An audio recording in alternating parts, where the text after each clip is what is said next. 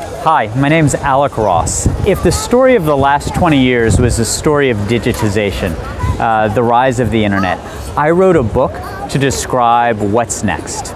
The last 20 or 30 years have been very difficult economically for a lot of people, and I don't think that life is going to get any easier. Changes in technology and in science are going to change the way that we live at home and the way that we work. And so part of what I did in writing this book is trying to light a little path so that people can understand the forces that are going to shape our future for both good and bad. And my hope is that with this information, people have some tools to be able to make better informed decisions for themselves and for their children so that they can have a sense of what's coming. After working as a school teacher, uh, I had the sort of the, the classic entrepreneur story. When I was 28 years old, I started a company in a basement. It was myself and three friends. And we grew our company from being four people in a basement into a pretty large global enterprise.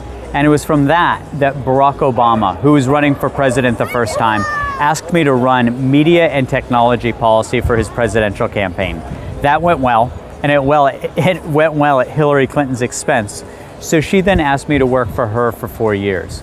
And so I've had this interesting path from being an entrepreneur to running technology and media policy for Barack Obama's presidential campaign to working as a senior advisor to Hillary Clinton for four years.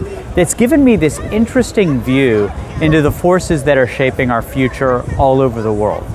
Now, when people ask me about Italy, I should first say I'm not objective about Italy. I say that Italy is mio secondo paese.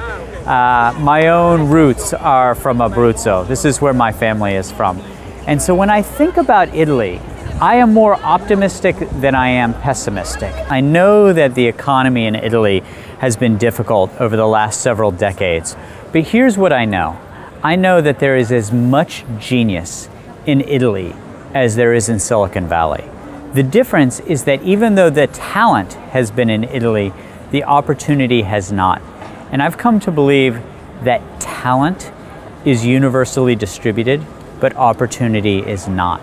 And part of why I wrote this book is to create opportunity where it hasn't existed before. Americans, people who are imagining and inventing these big companies in Silicon Valley, are no smarter than Italians.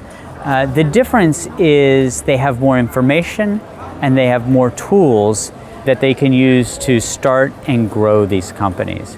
And part of what I hope with this book is that particularly young people, people in their 20s, in their 30s, and their 40s, will read it and have the confidence and have the information uh, to think about starting their own businesses, to think about what to invest in, and to help make Italy have a more prosperous tomorrow uh, than today or yesterday.